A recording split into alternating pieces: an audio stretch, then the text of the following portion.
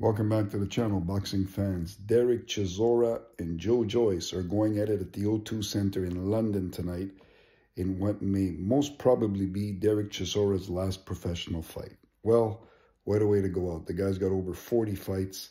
Very entertaining guy, very nice guy. But unfortunately for him, I think tonight he gets knocked out.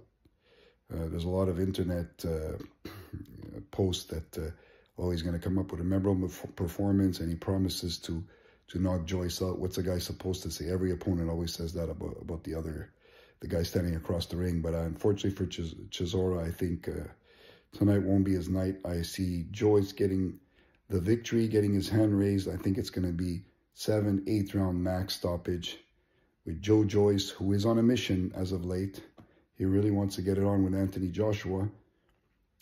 I think Chisora is just someone in his way and he's going to dispose of them. There's too much of an age gap, too much of a size gap. One guy's in his prime, the other guy's 40 past now. So that's the way it's going to go. Let me know how you guys see it.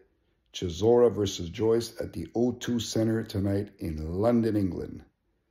Like, comment, subscribe.